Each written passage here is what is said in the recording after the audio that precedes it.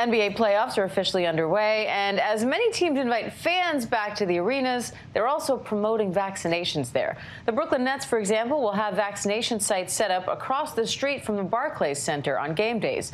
Whit Johnson is at the Barclays Center with more on that and how the team is welcoming back fans. Hi, Whit.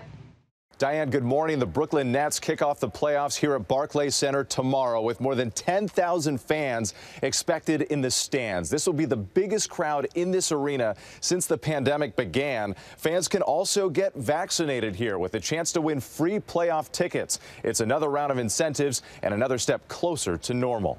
I want to put basketball aside for a moment. Sure. What, what, does it mean to the team, the people who work here in this community, to be able to put thousands of fans back in this arena?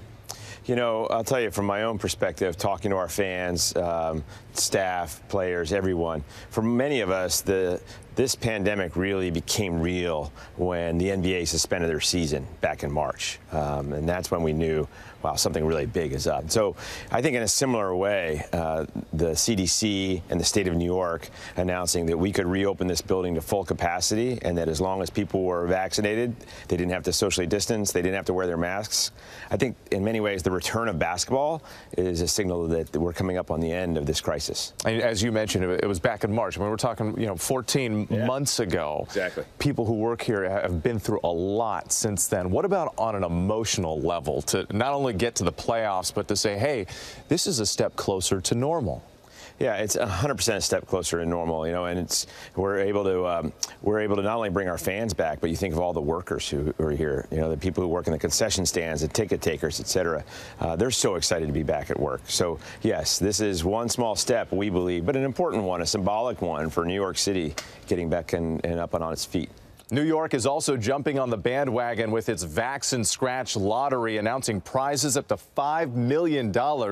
And this morning, the White House says that it's partnering up with dating apps to encourage people to get their shots and allowing users to showcase their vaccination status. Diane? All right, Whit Johnson, thanks for that.